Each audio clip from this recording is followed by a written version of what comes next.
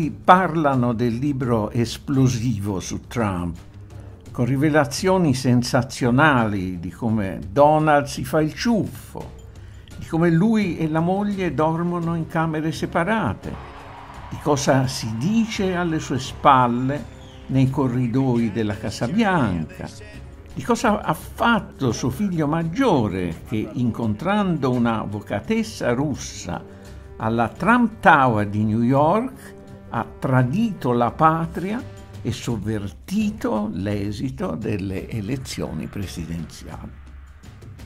Quasi nessuno invece parla di un libro dal contenuto veramente esplosivo, uscito poco prima a firma del presidente Donald Trump, Strategia della sicurezza nazionale degli Stati Uniti. È un documento periodico redatto dai poteri forti delle diverse amministrazioni, anzitutto da quelli militari.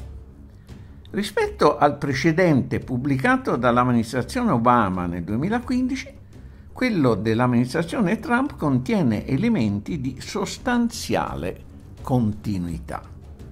God bless our fallen heroes. God bless their families. God bless our military. And God bless the United States of America. Basilare il concetto che per mettere l'America al primo posto, perché sia sicura, prospera e libera, occorre avere la forza e la volontà di esercitare la leadership USA nel mondo.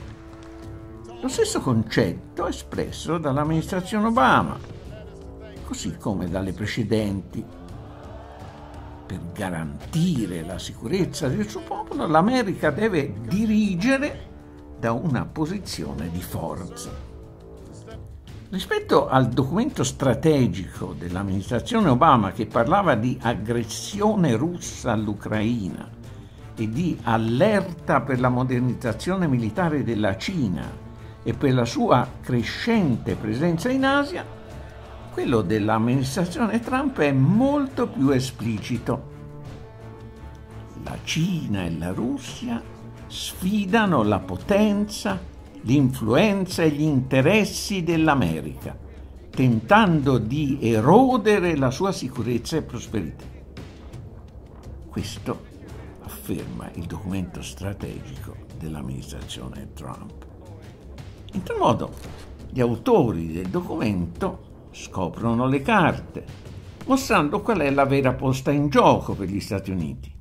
Il rischio crescente di perdere la supremazia economica di fronte all'emergere di nuovi soggetti statuali e sociali, anzitutto Cina e Russia, le quali stanno adottando misure per ridurre il predominio del dollaro, che permette agli USA di mantenere un ruolo dominante stampando dollari il cui valore si basa non sulla reale capacità economica statunitense, ma sul fatto che vengono usati quale valuta globale.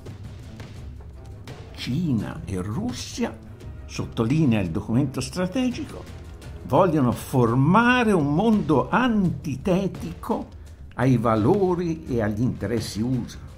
La Cina cerca di prendere il posto degli Stati Uniti nella regione del Pacifico, diffondendo il suo modello di economia a conduzione statale. La Russia cerca di riacquistare il suo status di grande potenza e stabilire sfere di influenza vicino ai suoi confini. Mira a indebolire l'influenza statunitense nel mondo e a dividerci dai nostri alleati e partner. Da qui una vera e propria dichiarazione di guerra. Competeremo con tutti gli strumenti della nostra potenza nazionale per assicurare che le regioni del mondo non siano dominate da una singola potenza, ossia per far sì che siano tutte dominate dagli Stati Uniti d'America.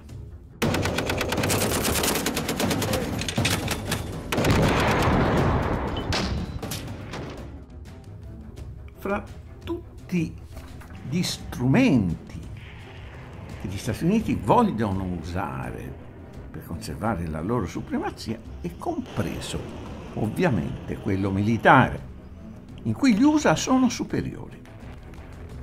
Come sottolineava il documento strategico dell'amministrazione Obama, possediamo una forza militare la cui potenza, tecnologia e portata geostrategica non ha eguali nella storia dell'umanità.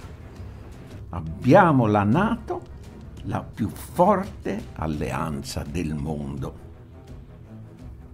La strategia della sicurezza nazionale degli Stati Uniti a firma Trump coinvolge quindi l'Italia e gli altri paesi europei della Nato, chiamati a rafforzare il fianco orientale contro la cosiddetta aggressione russa e a destinare almeno il 2% del PIL alla spesa militare e il 20% di questa all'acquisizione di nuove forze e armi. L'Europa va in guerra, ma non se ne parla nei dibattiti televisivi. Questo non è un tema elettorale.